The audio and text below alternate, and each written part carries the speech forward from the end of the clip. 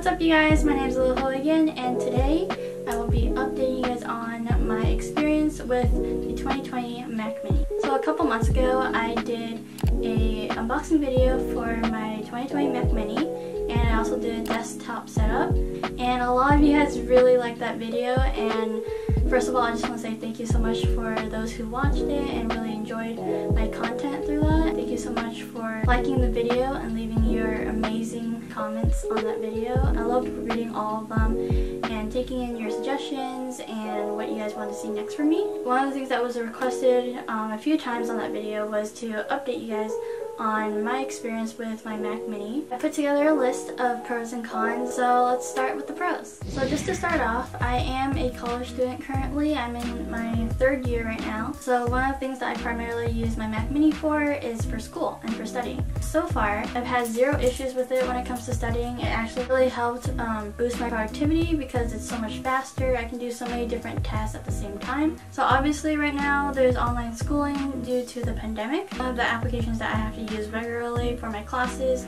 is Zoom. As far as exams go, um, my school uses Respondus, which is a lockdown browser, and that has been working perfectly well too. Something else that I also use my Mac Mini for, which is what I also mentioned in my last video, is that I video edit a lot obviously for YouTube. I'm also currently a video content intern for my school's esports program and so far I've been using Final Cut Pro and Adobe Premiere Pro and it's been working fine. Sometimes I'll have to use Photoshop or Lightroom and I've had zero corruption issues with like previous files and I'm able to edit smoothly. Final Cut Pro has been working amazingly well. When I skim through a video, it scrubs through super smoothly. When I render, it takes eight times the speed as it did before when I used my MacBook. Another thing that I really like um, so far is that when I export a video, it's super fast. I remember before when I would use my laptop, when I tried to export like a good 10 minute video, it would take around like 20-30 minutes to export. But now with this M1 chip, when I export a video, I've already tried out exporting an hour long video for work, for example. It only took like 5 to 10 minutes to export which is amazing and a really huge difference. When it comes to connecting my Mac Mini to devices like the webcam, the mic, really anything, it has no connection issues.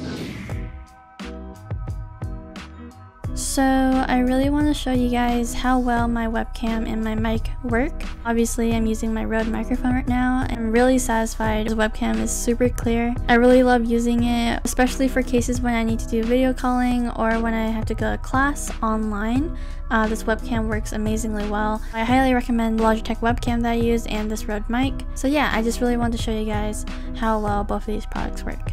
I have no Bluetooth issues either. I haven't run into any problems where a Bluetooth device will like randomly just disconnect. One of the other things that I really hated about my old MacBook would be the fans within the computer. So my Mac would overheat even if I'm just browsing the internet. The fans start kicking in, it gets super super loud. And what I love about the M1 chip in the 2020 Mac Mini is that I never have to worry about loud fan noises or anything overheating. The chip is super silent and the fan actually never kicks in whenever I use it, even when I'm video editing, which is usually the time that it does do that on my laptop.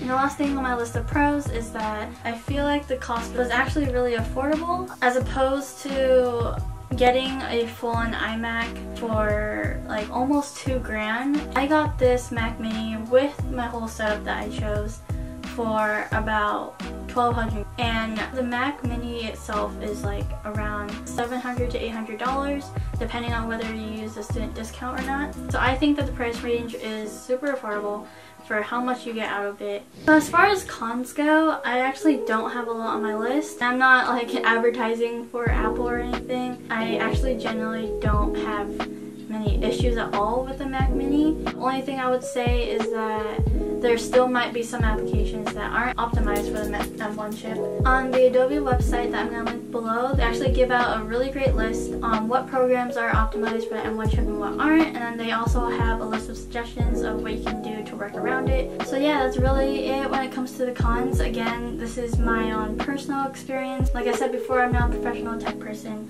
Um, I won't be able to tell you like the ins and outs of the M1 chip, but as an average daily user who's a student and also working as a video editor, this would be the cheapest, fastest Mac that you could buy in the market right now. This has been my experience with the 2020 M1 Mac Mini in the first almost three months. I hope you guys really enjoy this video. If you guys want me to do an update video, on the Mac Mini like maybe a year later. I would love to do that. So let me know down in the comments below if that's something you want to see from me. If I find anything else that I really want to share about the Mac Mini, I'll definitely make a video on it. But this is it for now. So thank you again for watching this video and I will see you guys in the next one. Bye!